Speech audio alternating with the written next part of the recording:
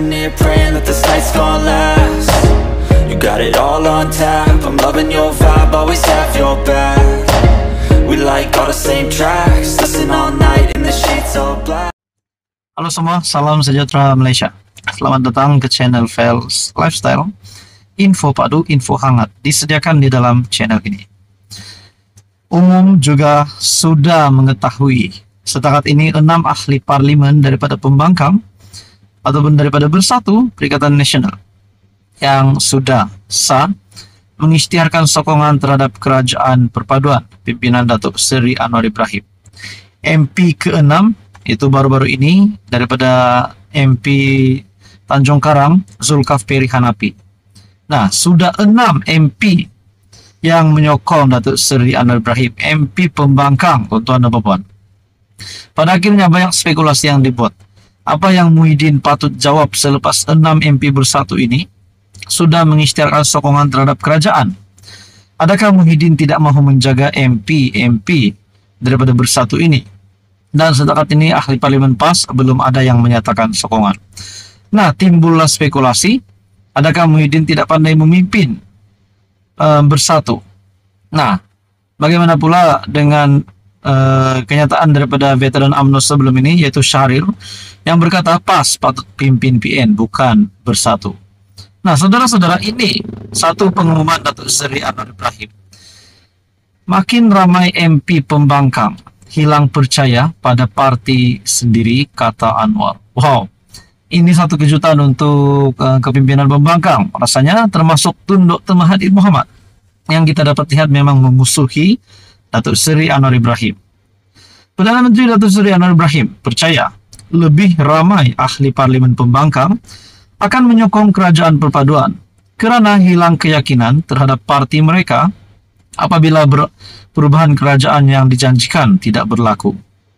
Anwar berkata, mereka hanya dijanjikan dengan janji-janji palsu, dengan pelbagai langkah tebuk atap yang nyata tidak menjadi kenyataan dan memainkan persepsi negatif termasuk isu-isu perkauman. Mereka diberikan harapan walaupun saya katakan atap ini bukan atap rumbia atau tetapi atap konkret mereka berpindah dari Dubai ke London dan mereka lupa atap konkret jauh lebih tebal. Dan apabila terhakis harapan, orang-orang ahli parlimen yang dijanjikan perubahan akan berlaku ini, seorang demi seorang akan meninggalkan parti mereka, katanya dalam ucapan peresmian penutupan di konvensi Kerajaan Perpaduan Perak di Ipoh. Nah, saudara-saudara, adakah dengan kenyataan Datuk Seri Anwar Ibrahim ini sebagai Perdana Menteri, membuatkan lebih ramai lagi ahli parlimen daripada pembangkang akan menyatakan sokongan terhadap kerajaan perpaduan. Turut hadir di malam Perdana Menteri Datuk Seri Ahmad Zaid Hamidi yang juga pengurus CPN di dalam uh, beserta Menteri Besar Perak Datuk Seri Sarani yang juga pengurus CBN Perak, pengurus CPH Perak, Datuk Seri Mujahid Yusof dan naib pengurus CDAP Ngakurming. Anwar yang juga pengurus CPH berkata, Kestabilan kerajaan perpaduan, termasuk gabungan dari Sabah dan Sarawak, adalah kukuh dan pihak yang sentiasa cuba menggugatnya perlu menerima kenyataan. Gabungan itu akan kekal sehingga akhir penggal. Yang di Pertuan Agong pada malam tadi juga menasihatkan agar pimpinan politik memelihara perpaduan dan kepimpinan perlu menumpukan untuk memacu pertumbuhan dan biar bicara soal merancang setelah lima tahun, yaitu akhir penggal. Saya yakin juga Tuanku Sultan Johor yang akan menjadi agung akan mempertahankan pendirian yang sama, kata Presiden PKR itu. Nah, kita dapat lihat yang di Pertuan Agung Al-Sultan Abdullah dan juga bakal yang di Pertuan Agung uh, Sultan Johor, Baginda Sultan Johor, juga seperti yang dinyatakan Datuk Seri Ibrahim, menasihatkan agar pimpinan politik memelihara perpaduan dan kepimpinan perlu menumpukan untuk memacu pertumbuhan dan biar bicara soal merancang setelah lima tahun itu akhir penggal. Bermakna yang di Pertuan Agung menyokong untuk kerajaan uh, perpaduan yang ada hari ini untuk di untuk pemimpin hari ini meneruskan supaya semua ini untuk rakyat kepentingannya untuk rakyat bukannya ada kerengga-kerengga ataupun penyangak yang coba menjatuhkan kerajaan hanya demi menyelamatkan diri. Nah, saudara-saudara, apa komen Anda berkaitan dengan isu ini? Sekian saja teruskan bersama di dalam channel ini untuk info yang seterusnya. Mohon bantu channel ini dengan menekan butang like, share, dan juga subscribe. Halo semua, salam sejahtera Malaysia. Selamat datang ke channel Fels Lifestyle. Info padu, info hangat disediakan di dalam channel ini. Terima kasih tuan-tuan dan puan yang masih setia di dalam channel ini. Saudara-saudara, menerusi tajuk video ini sudah pasti mengejutkan, menggemparkan kepada pendengar hari ini. Ini pasti satu keputusan yang mengerikan di mana kita dapat tahu Tun Dem Zainuddin berkaitan dengan isu Menara Ilham, berkaitan dengan isu pengisytiharan harta, dan pada akhirnya, saudara-saudara, ini keadaan terkini Tun Dem Zainuddin yang saya boleh katakan dalam keadaan yang amat memilukan. Nah, kita berdoa yang baik-baik saja untuk semua kepemimpinan politik di Malaysia ini. Saudara-saudara dalam satu artikel berkongsi daripada Malaysia kini, keadaan terkini uh, Tundaim Zainuddin. Dan bagi saya ini pasti satu duka cita besar juga untuk rakan sekutu Tundaim Zainuddin, khususnya Tun Dr. Mahathir Muhammad. Satu artikel daripada Malaysia kini tak perlu syarat jaminan tambahan. Daim buta sebelah mata.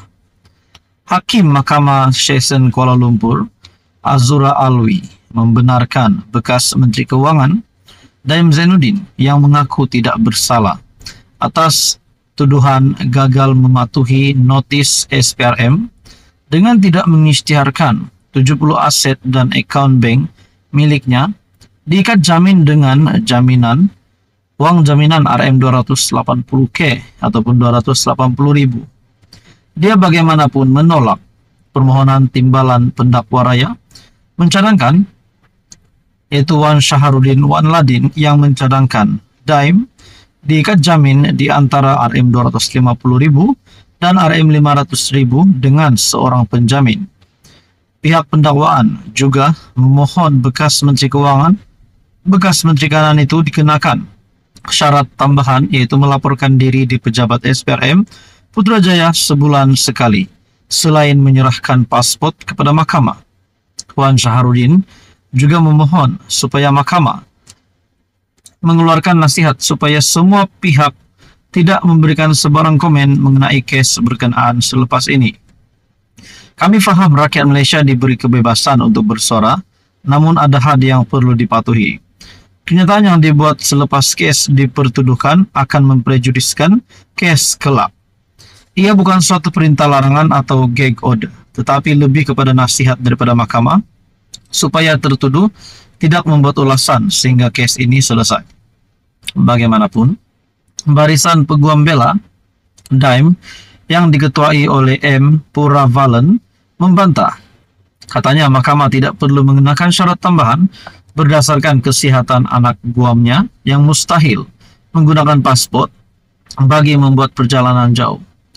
Yang Arif boleh lihat keadaannya yang hadir ke mahkamah dengan berkerusi roda. Dia adalah pesakit buah pinggang dan pernah diserang angin ahmar, malah sebelah matanya sudah dikeluarkan kerana dijangkiti kuman, katanya. Pugam itu juga membantah syarat tambahan supaya Daim dikehendaki melaporkan diri ke pejabat SPRM di Putrajaya. Azura kemudian membenarkan bekas bendahari AMNO itu diikat jamin dengan RM 280.000 dan tidak mengenakan syarat jaminan tambahan selepas menimbangkan keadaan kesehatan bekas menteri itu. Daim yang hadir memakai sut hitam dan berkerusi roda dibenarkan berada di luar kandang tertuduh sepanjang proses pertuduhan. Dia yang memegang jawatan dalam kabinet pimpinan Dr. Mahathir didakwa dengan sengaja memberikan satu pernyataan bertulis dengan bersumpah yang tidak mahu tidak mematuhi terma notis di bawah section 36 dalam kurungan 1 dalam kurungan E Akta SPRM 2009 Akta 694 bertarik 8 November 2023 dia didakwa mengikut section 36 dalam kurungan 2 Akta SPRM 2009 Akta 694 yang boleh dihukum penjara tidak melebihi lima tahun dan boleh didenda tidak melebihi RM 100.000 jika sabit kesalahan. Nah, saudara-saudara, apa komen Anda berkaitan dengan isu ini? Ini pasti satu kejutan untuk Tun Daim Zainuddin, kroninya, rakan sekutunya, dan juga kepada Tun Dr. Mahathir, uh, yaitu rakan sekutu rapat Tun Daim Zainuddin. Nah, Anda boleh komen di bawah apa komen Anda. Sekian saja, teruskan bersama di dalam channel ini untuk info yang seterusnya. Mohon bantu channel ini dengan menekan butang like, share, dan juga subscribe.